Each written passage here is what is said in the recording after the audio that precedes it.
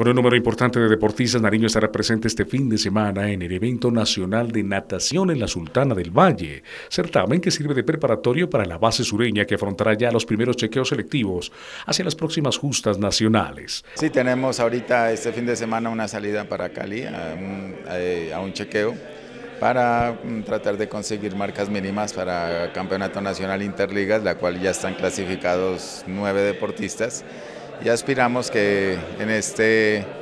eh, en esta nueva prueba eh, se clasifiquen unos cuatro o cinco más para poder asistir a este gran evento. Después de cumplido el chequeo en la Sultana del Valle, el grupo nariñense, las ramas masculina y femenina, afrontará ya los primeros retos de carácter competitivo que sumarán puntos para estar presente en los Juegos Nacionales. Ahorita tenemos aproximadamente de los seis clubes que están afiliados a la liga de los diferentes municipios, cerca de 30 35 personas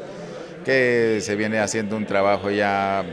eh, más o menos de tres años y ahorita estamos viendo ya los resultados con estos clasificados a estos campeonatos nacionales interligas. A nivel regional, en el mes de junio se cumplirá con un importante reto y chequeo para los deportistas de las diferentes regiones del suroccidente colombiano que serán seleccionados por parte de la rectora departamental de esta disciplina para ser la base nariñense. De carácter regional tenemos el 4 de junio el primer campeonato Interclubes de Natación Departamental que lo organiza el Club Acuazona de Natación en conjunto con, Familiar, con la Secretaría del Deporte y igualmente con la colaboración de los padres de familia. Desde ya, las nuevas promesas de la natación a nivel nariñense se proyectan como los futuros campeones y los medallistas en los próximos Juegos Atléticos Nacionales.